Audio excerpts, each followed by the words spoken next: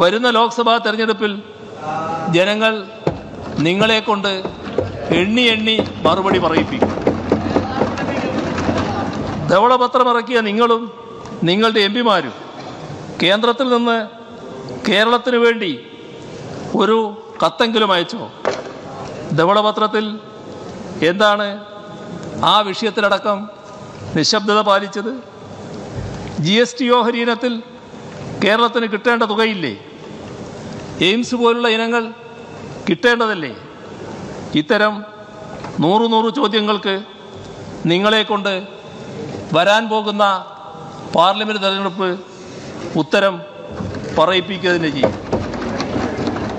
നിങ്ങളെ തെരഞ്ഞെടുത്ത് അയച്ചു എന്ന കുറ്റത്തിന് എന്തിനിങ്ങനെ കേരളത്തെ ശിക്ഷിച്ചു എന്ന ചോദ്യം മുൻനിർത്തി കേരള ജനത നിങ്ങളെ വിചാരണ ചെയ്യുക തന്നെ ചെയ്യും.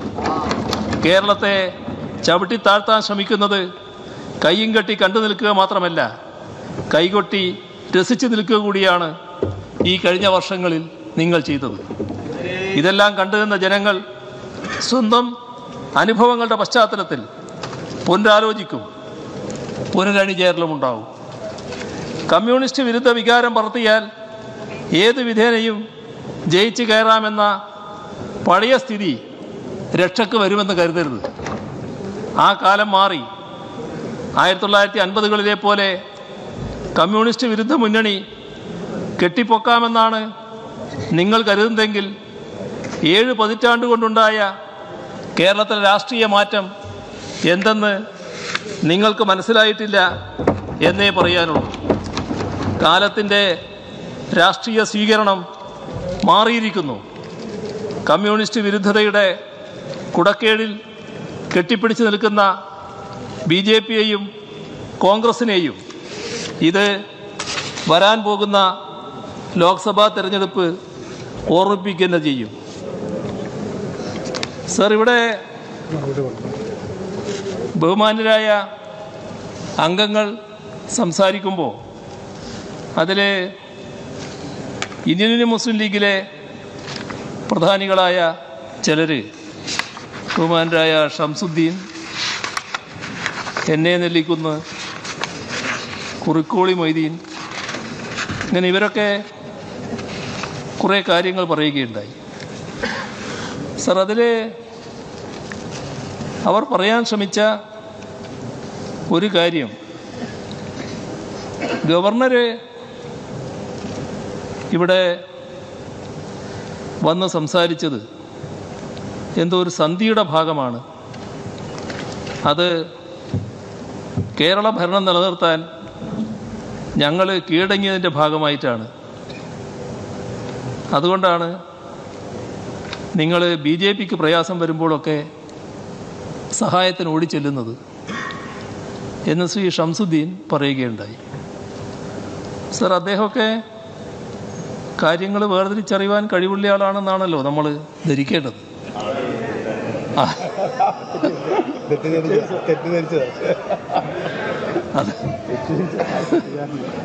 സർ ഈ തരത്തിൽ ഈ ഒരു നിഗമനത്തിൽ എങ്ങനെയാണ് അദ്ദേഹത്തിന് എത്താൻ കഴിഞ്ഞത് എന്ന് എത്ര ആലോചിച്ചിട്ടും മനസ്സിലാകുന്നില്ല. സർ ഇതുകൊണ്ട് ഉദ്ദേശിക്കുന്ന ഒരു കാര്യം.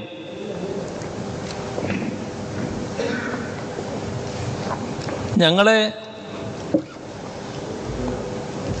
ആർ എസ് എസിനെയും ബി ജെ പിയെയും സഹായിക്കുന്നവരാണ് എന്ന് പറഞ്ഞാൽ ഈ ലീഗ് അണികളാകെ അത് അതേപോലെ സ്വീകരിക്കുമെന്നാണ് എന്നൊരു തെറ്റിദ്ധാരണയാണ്. ആ തെറ്റിദ്ധാരണയൊക്കെ മാറ്റേണ്ട കാലം കഴിഞ്ഞു. ഇന്ന് എല്ലാവരും വിവേചന ബുദ്ധിയുടെ കാര്യങ്ങൾ പരിശോധിക്കുകയാണ്. നല്ല രീതിയിൽ എല്ലാവരും കാര്യങ്ങൾ വ്യവച്ഛേദിച്ച് മനസ്സിലാക്കുന്ന കാലമാണിത് അതുകൊണ്ട് തന്നെ തെറ്റായ പ്രചരണങ്ങളൊന്നും വലിയ തോതിൽ യേശില്ല എന്ന് കണ്ടോളൂ. പിന്നെ ഞങ്ങൾക്ക് കേരളത്തിലെ ഗവൺമെന്റിനും എൽ ഡി എഫിനും കേരള മനസ്സിൽ ജനങ്ങളുടെ മനസ്സിൽ ഇടം കിട്ടിയിട്ടുള്ളത് എന്തെങ്കിലും തെറ്റിദ്ധാരണ പരത്തിക്കൊണ്ടല്ല. അവരുടെ അനുഭവത്തിന്റെ അടിസ്ഥാനത്തിലാണ് ആ ഇടം ഞങ്ങൾ നേടിയിട്ടുള്ളത്. ആ അനുഭവത്തെ നിഷേധിച്ച് കളയാമെന്ന് വിചാരിക്കുന്നു. നിങ്ങളിൽ നിങ്ങളിൽ ഒരാൾ പറഞ്ഞല്ലോ. ഇവിടെ ചുവപ്പ് കൊടിയുടെ നിറം കാവിയാവുകയാണ് എന്ന്. നിങ്ങളൊരാളാണ് പറഞ്ഞത്. അത് ആ ചുവപ്പ് എങ്ങനെയാണ് കൂടുതൽ കൂടുതൽ ചുകന്നു വരുന്നത് എന്നത് നിങ്ങൾ രാഷ്ട്രീയ ലാഭത്തിന് വേണ്ടി കാണുന്നില്ലായിരിക്കാം. പക്ഷേ നിങ്ങളുടെ അടക്കം മണികൾ കാണുന്നുണ്ട്. കാരണം കേരളത്തിൽ ഏതൊക്കെ ഘട്ടത്തിൽ വർഗീയ നീക്കങ്ങളുമായി ആർ എസ് എസിന്റെ നീക്കങ്ങൾ ഉണ്ടായിട്ടുണ്ടോ ആക്രമണങ്ങൾ ഉണ്ടായിട്ടുണ്ടോ അതിന്റെ മുന്നിൽ നെഞ്ചി വിരിച്ച് നിൽക്കാൻ ഞങ്ങളാണ് ഉണ്ടായിട്ടുള്ളത് അതിന്റെ ഭാഗമായാണ് ആ കൊടിയുടെ നിറം കൂടുതൽ ചുവപ്പായി മാറിയത് എന്ന് നിങ്ങൾ ഓർക്കണം. അവരെ അത്ര വേഗം തള്ളിക്കളയുമെന്ന് വിചാരിക്കരുത്. നിങ്ങൾ നിങ്ങൾ രാഷ്ട്രീയ കാരണങ്ങളാൽ ഈ പറയുന്ന കാര്യങ്ങൾ പറയുമ്പോൾ നിങ്ങളുടെ അണികളുടെ മുന്നിൽ തന്നെ നിങ്ങൾ മോശക്കാരായി മാറുകയാണ്. അത് നിങ്ങൾ മനസ്സിലാക്കണം. പിന്നെ തെലുങ്കാനയിൽ ഞാൻ പോയത് എന്താണ് നിങ്ങൾക്ക് ഇത്ര പൊള്ളലുണ്ടാക്കിയത് എനിക്ക് മനസ്സിലാകുന്നില്ല. തെലുങ്കാന നമ്മുടെ രാജ്യത്തെ ഇന്ന് ബി ജെ പിയുടെ ഏറ്റവും കൂടുതൽ ആക്രമണം നേരിടുന്ന ഒരു സംസ്ഥാനമാണ്.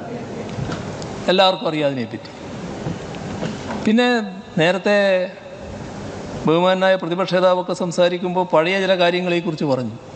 സർ നാം ഒരു പുതിയ കാലത്താണ് നിൽക്കുന്നതെന്ന് കാണുന്നത്. ആ പുതിയ കാലം എന്താണ്? ബി ജെ പി അധികാരത്തിൽ നിന്ന് മാറ്റി നിർത്തണം. ബി ജെ പി അധികാരത്തിൽ നിന്ന് മാറ്റി നിർത്തുമ്പോൾ നിങ്ങൾ ഏതെങ്കിലും ഘട്ടത്തിൽ ബി ജെ പിയോടൊപ്പം ഏതെങ്കിലും തരത്തിൽ നീങ്ങിയിട്ടുണ്ടോ? നീങ്ങിയിരുന്നോ? എന്ന ജാതക പരിശോധനയ്ക്ക് പോയി അവരെ മാറ്റി നിർത്തുന്ന നില വന്നാൽ പല സംസ്ഥാനങ്ങളിലും പലരെയും നമ്മൾ മാറ്റി നിർത്തേണ്ടതായിട്ട് വരും. ഈ രാജ്യത്തിന്റെ പൊതു സാഹചര്യം അതാണ്. അങ്ങനെ മാറ്റി നിർത്തിക്കൊണ്ട് ബി ജെ പി ഒഴിവാക്കി നിർത്താനാവുമോ? ഇന്ന് ബി ജെ പിക്കെതിരായി അണിനിരക്കാൻ ആരൊക്കെ തയ്യാറാകുന്നുണ്ട്? അത് സംസ്ഥാനാടിസ്ഥാനത്തിലാണ് സാധിക്കുക. ഓരോ സംസ്ഥാനത്തിന്റെയും പ്രത്യേകതകളുണ്ട്. ആ സംസ്ഥാനത്തിന്റെ സാഹചര്യം വെച്ചുകൊണ്ട് അതിന് പറ്റുന്ന ശക്തികൾ കൂടിയുള്ള ഒരു യോജിപ്പുണ്ടാവണം.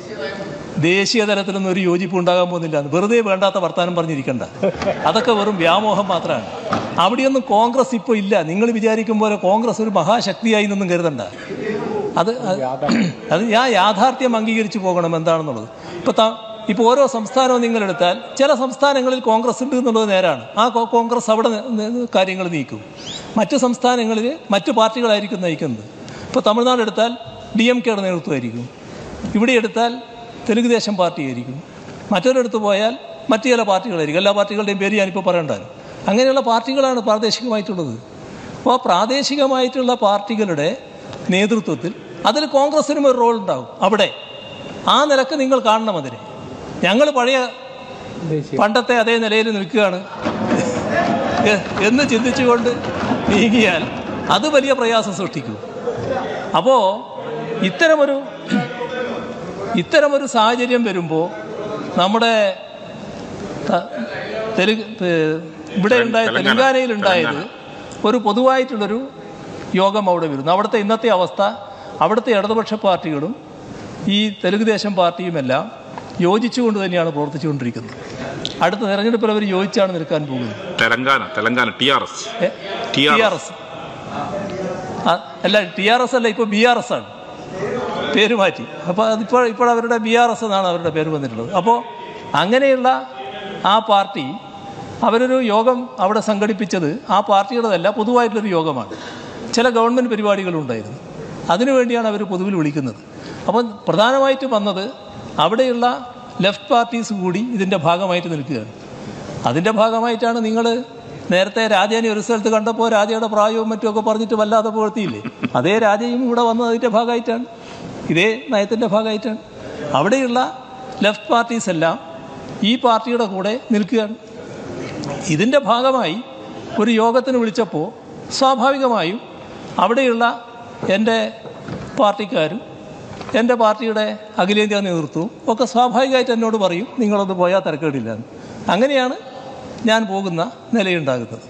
അത് മറ്റേതെങ്കിലും തരത്തിൽ ദുർവ്യാഖ്യാനിച്ച് അതിൽ നിന്ന് എന്തെങ്കിലും മനസമാധാനം കിട്ടുമെന്ന് ഉണ്ടെങ്കിൽ നടത്തിക്കോളൂ. പക്ഷേ വേറെ സുഖമൊന്നും അതുകൊണ്ട് കിട്ടാനില്ല. പിന്നെ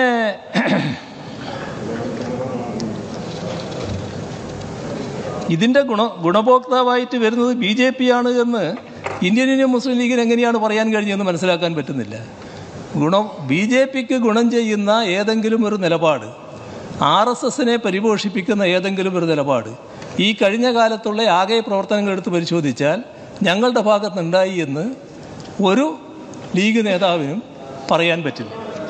ഈ റിപ്പബ്ലിക് വിരുന്നിന് ഭയങ്കര രുചിയുണ്ടായി. അതിനെന്താണ് പോകാനിടയായത് എന്നാണ്. നെല്ലിക്കുന്നാണ് പറഞ്ഞത്. കൊടിയിലെ ചുവപ്പ് മങ്ങി കാവ്യാവുന്നു. അവിടെ തന്നെയുള്ള സംഭവങ്ങൾ ഓർത്താൽ മതി എന്തായിരുന്നു എന്നുള്ളത്. ഞാനിപ്പോൾ വല്ലാതെ അങ്ങോട്ട് കയറുന്നില്ല. പക്ഷെ നിങ്ങൾ തന്നെ ഓർത്ത് നോക്കിയാൽ മതി. അത് എങ്ങനെയാണ് ആ ചുവപ്പ് കൂടുതൽ കൂടുതൽ ചുവപ്പായിക്കൊണ്ടിരിക്കുന്നത് എന്നുള്ളത്. ഇവിടെ റിപ്പബ്ലിക് വിരുന്നിന് പോയി എന്ന് പറയുന്നത് അത് ഒരു പരി സാധാരണ നിലയ്ക്ക് റിപ്പബ്ലിക് ദിനത്തിന്റെ ഭാഗമായുള്ള പരിപാടിയാണ്. രാവിലെ ഗവർണർ പതാക ഉയർത്തുന്നു. ഞാൻ അവിടെ പോയിട്ടുണ്ട്. സാധാരണ എല്ലാ കൊല്ലവും ഞാൻ പോകുന്നതാണ്. അവിടെ പോയി. ആ പരിപാടി കഴിഞ്ഞപ്പോൾ സ്വാഭാവികമായി ടെറ്റ് ഹോം പരിപാടി ഗവർണർ നടത്തും. കഴിഞ്ഞ വർഷങ്ങളിൽ നടത്തിയിരുന്നില്ല. കോവിഡൊക്കെ ആയതുകൊണ്ട് അത് മാറ്റി വെച്ചിരുന്നു. ഇപ്രാവശ്യം നടത്തി. സ്വാഭാവികമായിട്ട് ഞാൻ പോയി. നിങ്ങൾ ചിലപ്പോൾ പോകില്ല എന്ന് കരുതിയിട്ടുണ്ടാവും. എനിക്കെന്താ പോകുന്നതിന് പ്രശ്നം? ഞാൻ അവിടെ പോയി. നല്ല രീതിയിൽ തന്നെ പിന്നെ അതിൽ പങ്കെടുത്തു. എനിക്ക് വേറൊരു പരിപാടി ഉള്ളതുകൊണ്ട് അവസാനം വരെ പങ്കെടുക്കാൻ പറ്റിയില്ല. ഞാൻ അവിടെ നിന്ന് ഇങ്ങോട്ട് പോരുകയും ചെയ്തു. അതാണ് ഉണ്ടായത് തെറ്റിദ്ധാരണയല്ല. ഇത് ബോധപൂർവമുള്ള തെറ്റായ പ്രചരണത്തിനുള്ള ഒരായുധമായിട്ട് ഉപയോഗിക്കുകയാണ്. അതാണ് മനസ്സിലാക്കേണ്ടത്. ആ തെറ്റായ പ്രചരണം അതെല്ലാം പലർക്കും പറഞ്ഞിട്ടുള്ളതാണ് എന്ന്. അതൊന്നും ഇങ്ങോട്ട് യേശുവില്ല.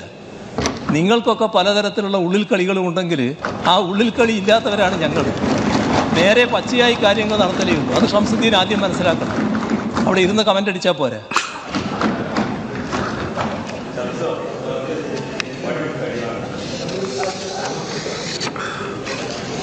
പിന്നെ ഏറ്റവും വലിയ രസം ഈ പണ്ട് ഒരു കഥയുണ്ട് അണ്ണാൻ ആനയോട് വേദനിക്കുന്നുണ്ടോ? എന്ന് ചോദിച്ചു എന്നൊരു കഥ. ഏകദേശം അതുപോലെയാണ് ഈ കുറുക്കോളി മൊയ്തീൻ ഞങ്ങളോട് പറയാണ്. നിങ്ങൾ ഇങ്ങോട്ട് വരൂ. ഞങ്ങൾ സി പി എമ്മിനെ ക്ഷണിക്കുകയാണ്.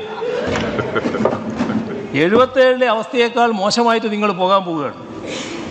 സ്വാഭാവികമായി നിങ്ങൾ ഞങ്ങളുടെ മുന്നണിയിലേക്ക് വരുന്ന സാഹചര്യം ഉണ്ടാവും. എന്താ ഞാൻ പറയേണ്ടത്? ഇതൊക്കെ ഒരു നിന്ന് പറയുമ്പോൾ എതിർക്കണം തോന്നിയപ്പോൾ അങ്ങ് എന്തും വിളിച്ചു പറയാവുന്ന ഒരു അവസ്ഥയിലേക്ക് മാറുകയാണ് കേട്ടോ. അത് അതൊന്നും ഒരു സാധാരണ നിലയ്ക്ക് സ്വീകരിക്കേണ്ട സമീപനമല്ല. അത്രയേ ഞാൻ പറയുന്നുള്ളൂ. ഇവിടെ ഇവിടെ നിങ്ങളെ നിങ്ങളെ അവസ്ഥ എല്ലാവർക്കും അറിയാം. ലീഗിന്റെ അവസ്ഥ അറിയാത്തവരെല്ലാവരും ഞങ്ങൾ. നിങ്ങളിപ്പോൾ U D F. U D F എന്ന് പറയുന്നതിന്റെ പ്രധാന ഭാഗം ഏതാ? യു ഡി എഫിലെ പ്രധാന ഭാഗം ഏതാ? ഏ? കോൺഗ്രസ് ലീഗും അല്ലേ? അതെ.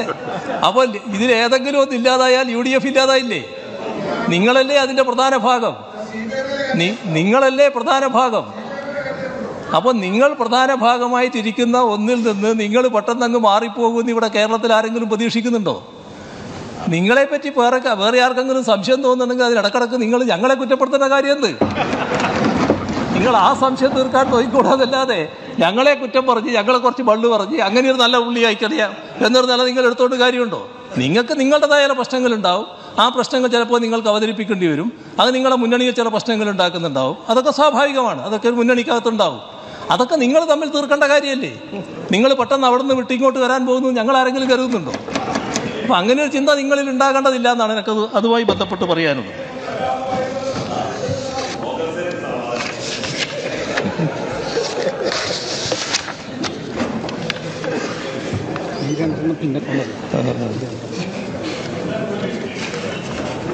ഇവിടെ ബഹുമാനായ പ്രതിപക്ഷ പറയുമ്പോൾ നമ്മുടെ ഉന്നത വിദ്യാഭ്യാസ മേഖലയിൽ വലിയ തോതിലുള്ള ദിശാബോധം നഷ്ടപ്പെട്ടിരിക്കുന്നു. യൂണിവേഴ്സിറ്റികളുടെ ക്രെഡിബിലിറ്റി തന്നെ ചോർന്നു പോയിരിക്കുകയാണ് എന്നൊക്കെ പറയുകയുണ്ടായി. നമ്മൾ ഈ എല്ലാ വിഷമസ്ഥിതിയും നിലനിൽക്കുമ്പോൾ തന്നെയാണല്ലോ Kerala university A plus plus നേടുന്നത്. നമ്മുടെ യൂണിവേഴ്സിറ്റികൾ ചിലത് എ പ്ലസ് നേടുന്ന അവസ്ഥ ആ ഘട്ടത്തിലാണല്ലോ ഉണ്ടാകുന്നത്. രാജ്യത്തെ പ്രധാന യൂണിവേഴ്സിറ്റികളിൽ നമ്മുടെ യൂണിവേഴ്സിറ്റികളും ആ റാങ്കിങ്ങിൽ നല്ല സ്ഥാനത്തെത്തുകയാണല്ലോ. ഇത്തരം നേട്ടങ്ങൾ നമുക്കുണ്ടാക്കാൻ കഴിഞ്ഞിട്ടുണ്ട്. അതിനിയും മുന്നോട്ട് പോകേണ്ടതുണ്ട്. ആ മുന്നോട്ട് കൊണ്ടുപോകാൻ തന്നെയാണ് സർക്കാർ ശ്രമിക്കുന്നത്. വലിയ തോതിലുള്ള ഇടപെടൽ. ആ രംഗത്തുണ്ടാകണമെന്ന് തന്നെയാണ് സർക്കാർ ആഗ്രഹിക്കുന്നത്. നേരത്തെ അത് സംബന്ധിച്ച് വ്യക്തമാക്കിയിട്ടുണ്ട്. ആ- കാര്യങ്ങൾ തുറന്നു കൊണ്ടുപോവുകയാണ്.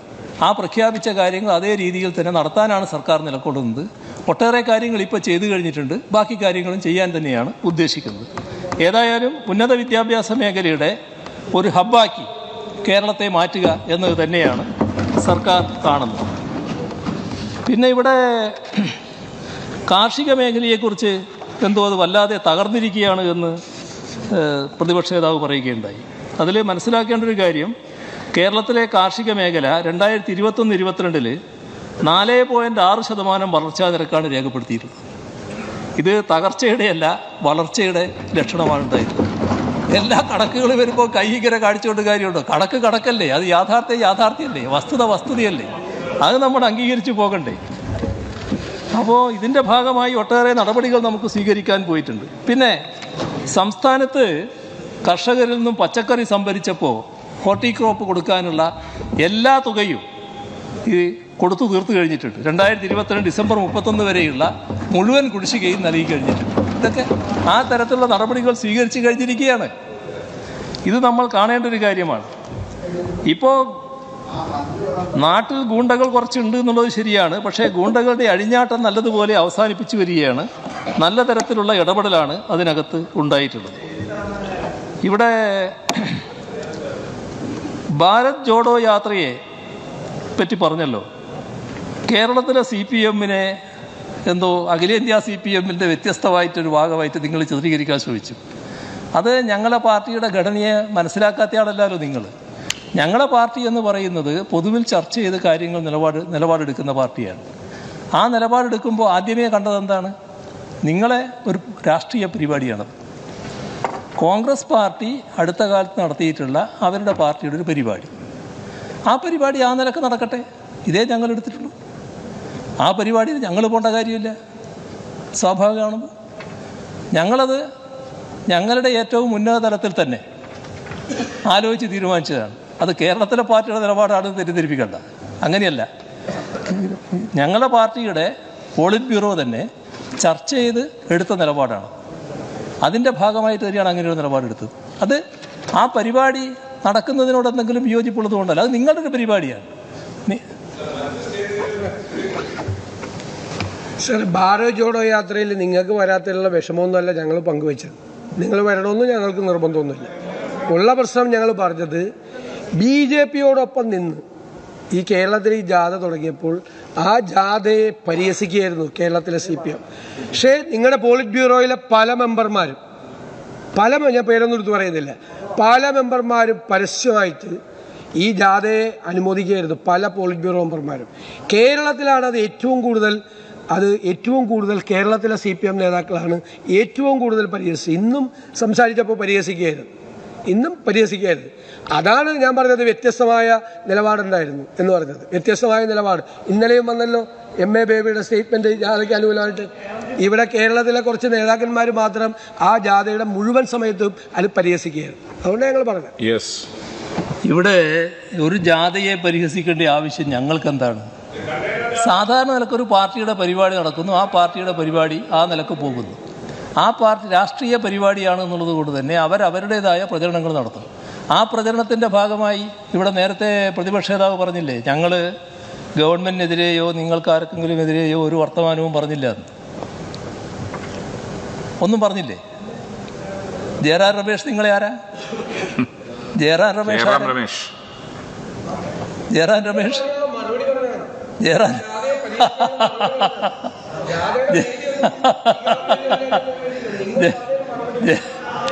സർ ഇതാണ് വസ്തുത. ഞാൻ ആ പറഞ്ഞതിൽ ആ പറഞ്ഞതിലൊന്നും ഞങ്ങൾ വലിയ കാര്യമായിട്ട് കാണുന്നില്ല. പക്ഷേ നിങ്ങളൊന്നും പറഞ്ഞില്ല പറഞ്ഞില്ല പറഞ്ഞില്ല എന്നിങ്ങനെ ആവർത്തിച്ച് പറഞ്ഞുകൊണ്ടിരിക്കുമ്പോൾ ജയറാം രമേശ് എന്തായിരുന്നു? പറഞ്ഞത് എന്ന് നിങ്ങളെ ഓർപ്പിച്ചു എന്ന് മാത്രമേ ഉള്ളൂ. അതാണ് അതിന്റെ ഭാഗം. അപ്പോൾ അത് രാഷ്ട്രീയമായിട്ട് നിങ്ങൾ പറയും. നിങ്ങൾ പറയുന്ന നിങ്ങളെ വിമർശനം നിങ്ങൾ ഉന്നയിക്കുന്നു. രാഷ്ട്രീയ പരിപാടി എന്ന നിലയ്ക്ക് നിങ്ങളത് ഉന്നയിക്കുന്നു. അതിനകത്ത് എന്താ ഞങ്ങൾക്ക് പ്രശ്നം? ആ പരിപാടി നിങ്ങൾ നടത്തുന്നു. നിങ്ങൾ നല്ല രീതിയിൽ അതുകൊണ്ട് സമാപിപ്പിച്ചിരിക്കുന്നു. പിന്നെ ജീവിതത്തിൽ ഏറ്റവും നല്ല അനുഭവം നിങ്ങൾക്ക് അവിടെ ആയതുകൊണ്ടുണ്ടായി കാരണം നല്ല മഞ്ഞ് വീഴുന്ന ആ അനുഭവം ഉണ്ടായത് പറഞ്ഞില്ലേ? അത് നല്ല നല്ല അനുഭവമല്ലേ നിങ്ങൾക്ക്? അതൊക്കെ നല്ല കാര്യം തന്നെ. അത് ആ നിലയ്ക്ക് നിങ്ങൾ ആസ്വദിച്ച് നടക്കും.